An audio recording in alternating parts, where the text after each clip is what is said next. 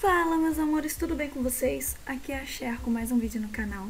E bom, eu ia começar a fazer essa ilustração aqui e de repente eu pensei, por que não gravar, não é mesmo?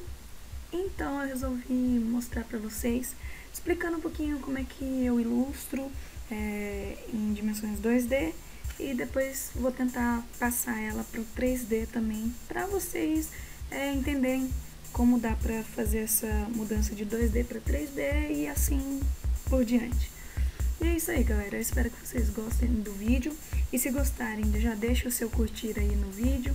Se inscreve no canal. Se curtir muito, compartilhe para os seus amigos estarem aí vendo. E eu vou deixar a foto final no meu Instagram. Então, qualquer coisa, corre lá para ver, beleza? Um beijão e bora pro vídeo.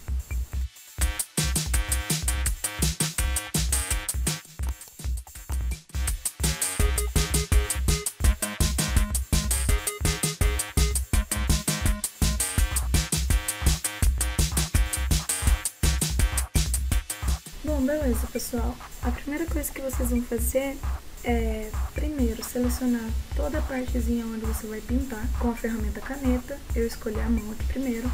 Vamos aqui pegar o pincel e com o Alt pressionado você seleciona uma cor, beleza?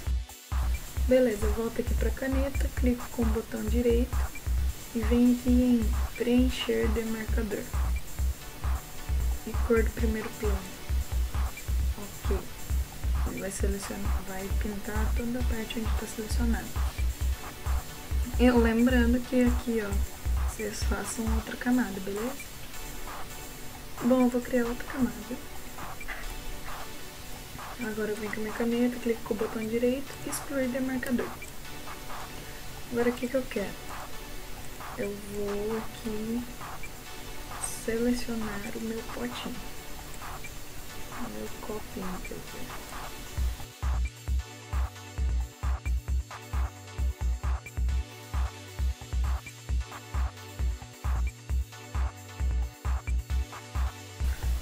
Beleza, é, eu vou escolher aqui cor meio cinza, porque quando eu diminuir a opacidade ele vai puxar pro branquinho, vai ficar transparente. Mesmo método, botão direito, botão direito, preencher demarcador e cor do primeiro plano. Beleza. Aqui eu excluo. E assim você vai fazendo parte por parte, viu galera? Bom, meus amores, como eu já mostrei pra vocês o processo de como funciona, eu vou acelerar aqui o, o vídeo e quando chegar na parte de coloração, de sombreamento e iluminação da pele em 2D e depois também em 3D, aí eu volto a falar com vocês, beleza?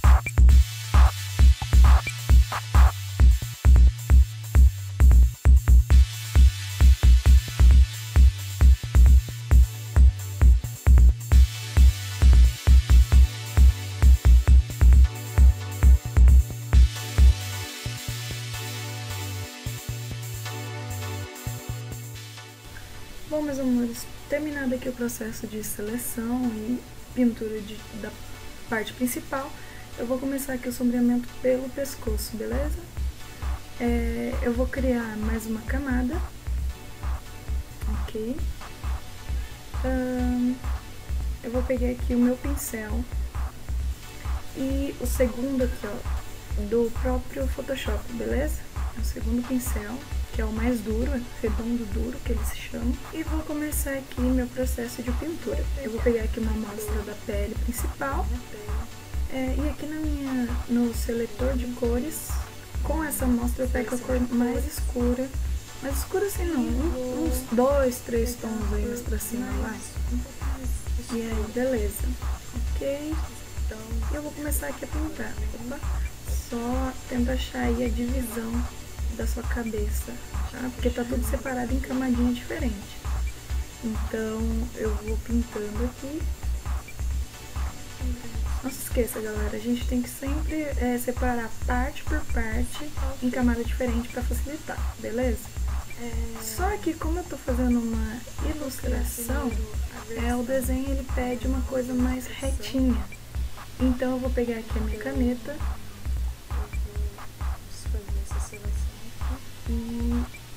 aqui deixar, opa, deixar a minha marcação um pouco mais reta, entendeu? Reta. Beleza. Aqui como já tá pintado ali em cima, não precisa reparar nessa partezinha ali toda bugada, ok? A única coisa que você vai prestar atenção mesmo é nessa reta de baixo. É ali que tem que se concentrar a melhor parte. Com o botão direito, eu vou em preencher e Beleza, ficou retinho, viu? Bonitinho. Aqui, meus amores, vamos pro rosto agora, beleza?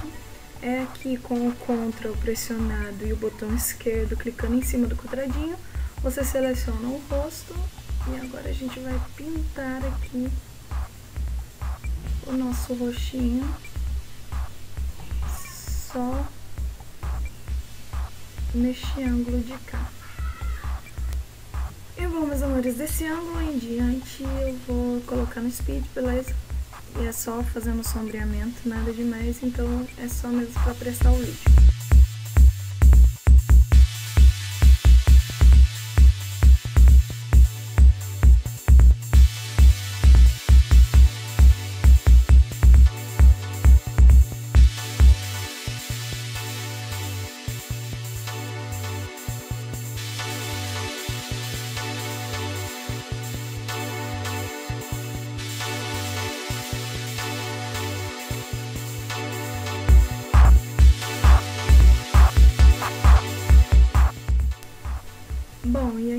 Fazer só unha que eu esqueci.